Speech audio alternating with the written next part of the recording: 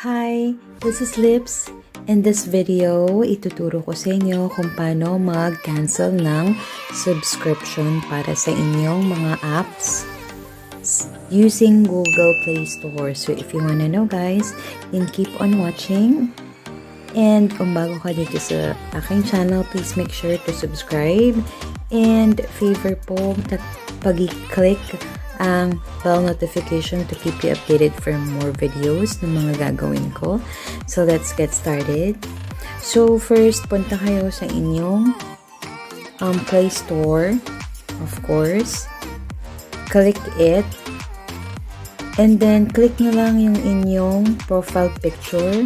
Siyempre, dun kayo magla-log in sa inyong sa inyong email kung saan kayo doon nakasubscribe sa apps na may subscription kayo. Okay, click nyo lang yan. And then, punta kayo dito sa payments and subscriptions. Yan. Tap nyo lang yan. And then, here, tap subscriptions.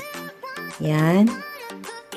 And then, it will show you all the apps na nakasubscribe ka or mayroon kang subscription.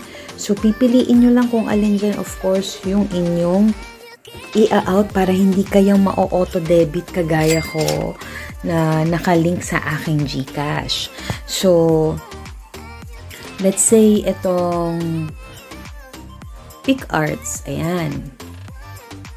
So, dito, nakalagay dyan, new payment, of, ayan, yung kanyang subscription. Kapag uh, good for a year, that's $999. I'm sorry, 999 pesos and 99 cents, which is due today, July 18, 2022. So, tap nyo lang yan.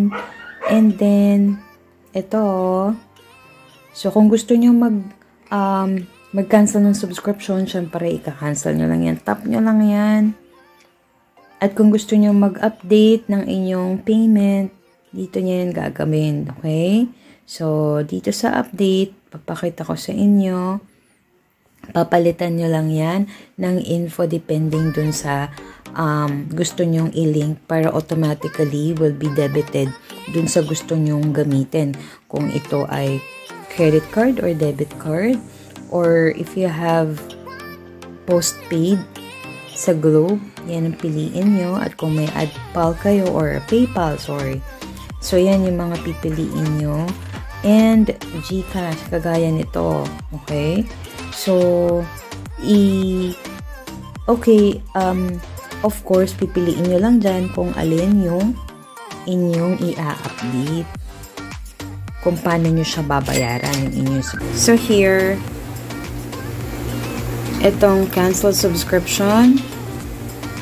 Tap lang natin yan para we won't get deducted next time automatically on our GCash like me kung naka-attach yan sa inyong GCash or sa kung saan man nakalink yan para automatically mag-deduct um, for the monthly pay. So, here, ito yung mga reasons. And, others.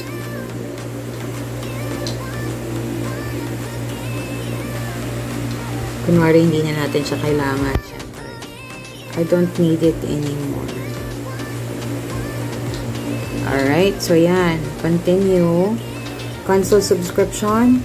Your subscription will be canceled at the end of the billing period on July 18 and you won't be charged anymore. You can change your mind anytime before this date. Cancel subscription. Yan. I-confirm nyo lang that you're canceling your subscription. So, yan. All good na tayo. So, canceled na siya. Ayan. Ayan. It says there, canceled. So, you can also to resubscribe should you decide to subscribe ulit sa particular app na ginagamit nyo or gagamitin nyo ulit. So, yan lang. Pupunta lang kayo sa um, Google app to resubscribe. Okay? So, that's it for today. Ganun lang kabilis. Ganun lang kadali. And again, this is Lips. Kung bago kayo sa channel ko, you may please do me a favor to subscribe, tap the bell notification para updated kayo sa mga bagong subscription, sa mga bagong videos ko. Bye for now and see you on my next one. Bye for now. Stay safe. Bye.